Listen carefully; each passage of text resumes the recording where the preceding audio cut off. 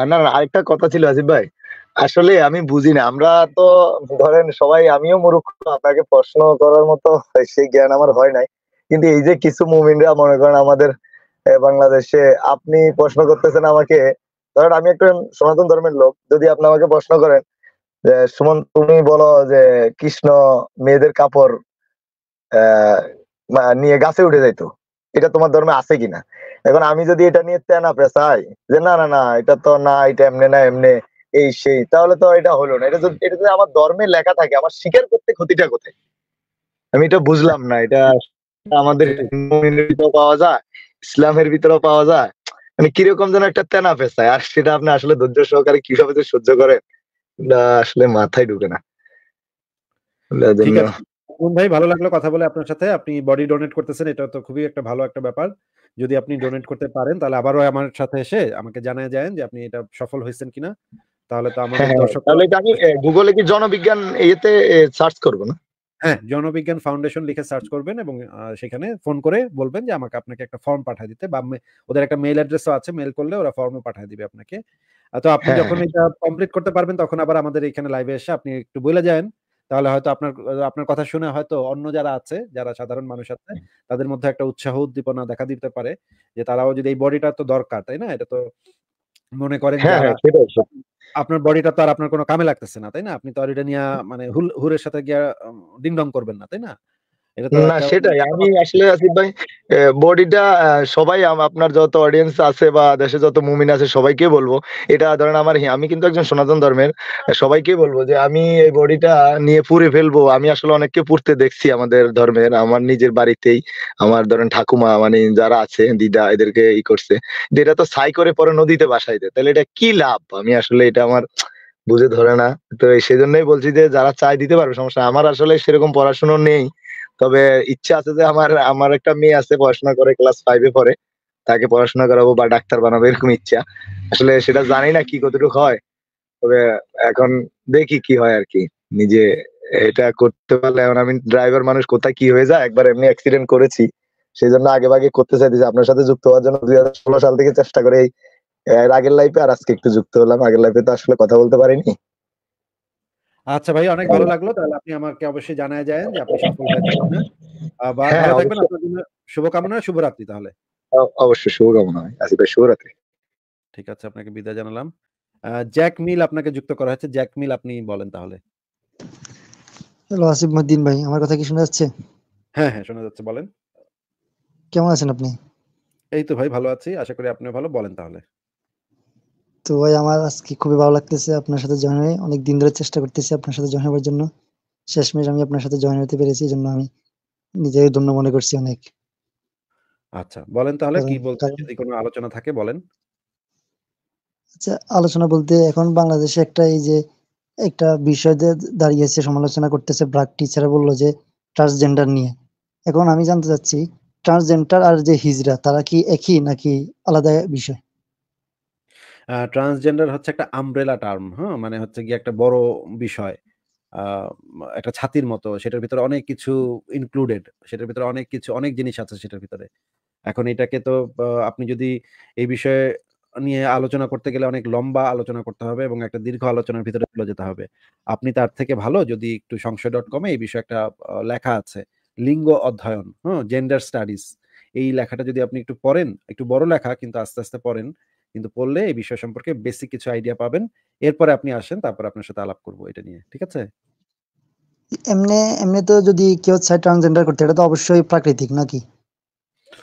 প্রাকৃতিক ব্যা মেক্সিমাম ক্ষেত্রেই এই জিনিসটা প্রাকৃতিক। কিন্তু এটার ভেতরে কিছু বিষয় থাকে যে যেমন ধরেন মানুষের নানান ধরনের হরমোনাল পরিবর্তন হয়, হ্যাঁ? বিভিন্ন কারণে বিভিন্ন ধরনের হরমোনাল পরিবর্তন হয়। এবং একটা বয়ঃসন্ধির সময় যে হরমোনাল যে পরিবর্তনগুলা হয় সেগুলো আসলে সবসময় মানুষের নিয়ন্ত্রণে থাকে না। মানে হচ্ছে যে এটা বিভিন্ন জনের ক্ষেত্রে বিভিন্ন রকমের হয়। এটা কোন মানে কোনো একটা নিয়ম নাই যে এইভাবেই হইতে হবে। এক জনের ক্ষেত্রে এই জিনিসটা এক এক রকম। এটার পেছনে নানা ধরনের বায়োলজিক্যাল ব্যাপার আছে এবং একই সাথে এটার পেছনে বিভিন্ন ধরনের সোশ্যাল ব্যাপারও আছে। সোশ্যাল ব্যাপারও কিছু, কিছু এটার ভিতরে আছে। তো এই জিনিসটা এক মানে প্রত্যেকটা মানে মানুষকে ভালোভাবে ইয়া না করে আমরা আসলে ঢালাওভাবে কোনো সিদ্ধান্তে যেতে পারি না। কিন্তু এই যে পুরা বিষয়টা যেটা নিয়ে আলোচনা হচ্ছে, এই আলোচনাটাতে কিন্তু আমরা খুব সহজেই সিদ্ধান্তে যেতে পারি। সিদ্ধান্তটা কি? সিদ্ধান্তটা হচ্ছে প্রত্যেক মানুষের বেঁচে থাকার অধিকার আছে। প্রত্যেক মানুষের নিজেকে সে যেটা মনে করে সেইভাবে পরিচয় দিতে, পরিচয় দেওয়ার অধিকার আছে। যেমন ধরেন আপনি, আপনার নাম এই যে জ্যাক মিল আপনি যদি আপনার নিজের নাম জ্যাক মিল রাখেন তাহলে এটা আপনার অধিকার। এইখানে কেউ আপনাকে কোনো বাধা দিতে পারে না বা আপনাকে আপনার উপরে মাতব্বরি করতে পারে না। যে আপনি আপনার নামটা কি রাখবেন বা আপনার বাপ মা আপনার নামটা কি রাখবে, এই বিষয়ে তৃতীয় পক্ষ মাতব্বরি করতে পারে না। ঠিক আছে? এই অধিকারটা প্রত্যেক মানুষের থাকা উচিত। থাকাটা জরুরি। জাতিসংঘ থেকে এই জিনিসটা বলা হয়েছে, যারা হচ্ছে যে কোনো জেন্ডারের সেটা যদি মানে ছেলে হোক, মেয়ে হোক বা তৃতীয় লিঙ্গের হোক বা যে কোনো পরিচয় হোক, তাদের সমান অধিকার, সমান মর্যাদা এবং সমাজে তাদের তাদেরকেও ইনক্লুড করা। তারাও যেন বিভিন্ন জায়গাতে পড়ালেখা করতে পারে, চাকরি বাকরিতে যেতে পারে। প্রত্যেকটা মানুষের এই অধিকারটা থাকতে হবে। এটা একটা নাগরিক অধিকার। এই অধিকারগুলো থেকে কাউকে বঞ্চিত করা যাবে না। এই বিষয়ে তো আমরা সিদ্ধান্তে খুব সহজেই আসতে পারি। এই বিষয়ে তো কোনো সিদ্ধান্ত নেওয়ার ক্ষেত্রে মানে প্রত্যেক মানুষের অধিকারটা যে সমান, এই বিষয়ে তো কোনো আসলে মানে এই ডিসিশনে যেতে তো কোনো সমস্যাই নেই। এটা তো একদম ইজি ব্যাপার। কিন্তু সমস্যা হচ্ছে, জটিল বিষয় হচ্ছে এই বিষয়গুলো যে ট্রান্সজেন্ডার কারা বা ধরেন সমকামী কারা এলজিবিটি এলজিবি কি, তারপরে কিউ কি, এইগুলা নিয়ে ট্রান্সজেন্ডার কি, এইগুলা নিয়ে আলোচনা অনেক দীর্ঘ আলোচনা, অনেক বিষয় সম্পর্কে ভালোভাবে পড়তে হবে, জানতে হবে, তখন আমরা এই জিনিসগুলো বুঝতে পারব। কিন্তু অধিকার বিষয়ে যে আলোচনাটা সেখানে তো কোনো আলোচনার কোনো স্কোপ নাই। সেখানে তো একটাই বিষয় যে প্রত্যেক মানুষের অধিকারটা সমান। তাই না ভাই? জি ভাই। আর এই যে দেখেন, ধরেন আমার মেয়েদের মেয়েদের প্রতি একটা আমার অনুভূতি হয়, আমি ছেলে হই। এবং এটা আমার শারীরিক গঠনের কারণে। আবার একটা মেয়ের অনুভূতি, অনু- অনুভূতি হয় আরেকটা ছেলের প্রতি। এটা তার শারীরিক গঠন থেকে বা প্রাকৃতিক ভাবে এখন একটা সমকামী, তার তার অনুভূতিটা হচ্ছে তার শারীরিক গঠনের কারণে। অর্থাৎ এটা প্রাকৃতিক। এখন মুমিনরা যদি তাকে তাকে কেন দোষী করবে? সে যদি দোষী করতে হয়, তাহলে তার সৃষ্টিকর্তাকে দোষী করা উচিত। যে যারা মানে যে সৃষ্টিকর্তাকে তারা বিশ্বাস করে, তারা যাকে বিশ্বাস করে যে পৃথিবীর সকল কিছু তাদের সৃষ্টিকর্তা সৃষ্টি করেছে, তাহলে তো তারা ব্লেম করা উচিত তাদের সৃষ্টিকর্তাকে। তাহলে তারা ওই মানুষটাকে কেন ব্লেম করবে এবং ওই মানুষটাকে কেন দোষী বলে দোষী বলে মনে করে? আমি সেটা মানে বুঝতে পারি না। না, এই জিনিসটা যে মানে প্রাকৃতিক এই কারণে যে তাদের অধিকার থাকা উচিত, আমরা কিন্তু, আমাদের যুক্তিটা কিন্তু এইটা না, যে যেহেতু জিনিসটা প্রাকৃতিক, সেহেতু তাদের অধিকার থাকা উচিত। আমরা কিন্তু কখনো এই যুক্তি এইভাবে যুক্তিটা দেই না। আহ, মানে প্রাকৃতিক জিনিস হইলেও কিন্তু জিনিস একটা জিনিস প্রাকৃতিক তার মানে কিন্তু আমরা এই প্রাকৃতিক এইখান থেকে এই ডিসিশনে আসতে পারি না যে জিনিসটা ভালো নাকি খারাপ সেই ডিসিশনে কিন্তু আসতে পারি না। অনেক সময় অনেক প্রাকৃতিক জিনিস আছে যেগুলো খারাপ আবার অনেক সময় অনেক প্রাকৃতিক জিনিস আছে যেগুলো ভালো। যেমন ধরেন একটা প্রাকৃতিক জিনিস যেমন করোনা করোনা হ্যাঁ? করোনা একটা খারাপ জিনিস তাই না? মানে ক্যান্সার ক্যান্সার প্রাকৃতিক ভাবে ক্যান্সার হতে পারে। প্রাকৃতিক ভাবে ক্যান্সার হলে আমরা বলব যে এটা খারাপ। আবার অনেক সময় প্রাকৃতিক ঘটনা আছে যেগুলো ভালো, যেমন প্রাকৃতিক যে ফলমূলগুলা যেগুলো প্রকৃতিতে হয়, একদম মানে কোনো রাসায়নিক সার টার ছাড়া প্রকৃতিতে হয় সেই সেই ফলমূলগুলো আবার ভালো, খাইতে ভালো, খেলে মানে শরীরে অনেক পুষ্টি হয়। তার মানে আমরা কিন্তু এই ডিসিশনে যেতে পারি না যে এটা একটা জিনিস প্রাকৃতিক। এই কারণে কিন্তু আমরা কখনো বলি না যে এই কারণে তাদেরকে অধিকার দিতে হবে, তা কিন্তু না। আমরা বলি যে সে যেহেতু একজন মানুষ, তার সিদ্ধান্তটা সে নিবে যে সে কাকে পছন্দ করবে, সে যেহেতু মানুষ, সেই কারণেই তার এই অধিকারটা আছে। বাই ডেফিনেশন সে একজন মানুষ মানুষ হিসেবে তার এই অধিকারগুলা, মৌলিক অধিকারগুলা সে পায়। এইটা থেকে কেউ তাকে আলাদা করতে পারে না। এই কারণে সে তো সে তো তার অধিকার আছে নিজের পছন্দ মতো মানুষকে চুজ করে নেয়ার। এখানে তো আমরা, তৃতীয় পক্ষ হিসেবে আমরা তো তার এই অধিকারটা ভায়োলেট করতে পারি না। কিন্তু আপনি যেই কথাটা বলেছেন সেটা ঠিক আছে, কিন্তু আপনি মুমিনদের সাথে যখন এই যুক্তিটা নিয়ে কথা বলবেন তখন একটা এই যুক্তিটার একটা মানে সমস্যাও আছে যে আমরা কিন্তু এই জিনিসটা মানে নিশ্চিতভাবে বলতে পারি না যে প্রাকৃতিক হলেই জিনিসটা ভালো হবে। বুঝতে পেরেছেন ভাই? জি ভাই বুঝতে পেরেছি।